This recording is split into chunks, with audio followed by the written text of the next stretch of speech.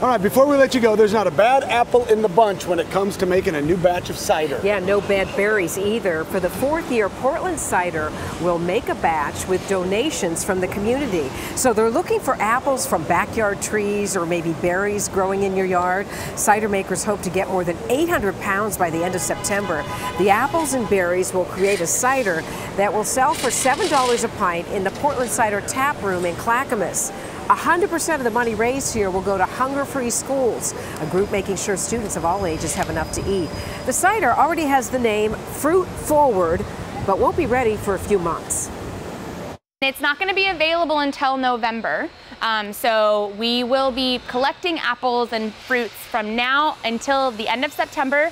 And then we'll have this awesome pressing party that's going to be September 28th here at our Clackamas Cidery and Pub. And um, we're gonna have from 12 to 6 p.m., really kid friendly, bring kids out, help press the apples. Hopefully some of your apples are in that pressing. Pay it fruit forward is kind of the slogan for the year. Pay it fruit forward. Hey, ideally donations will be 40 pounds of apples or 10 pounds of other fruit. You can drop them off at the Clackamas Tap Room between 9 in the morning, 9 at night. And come late fall, you can order a pint of that fruit forward.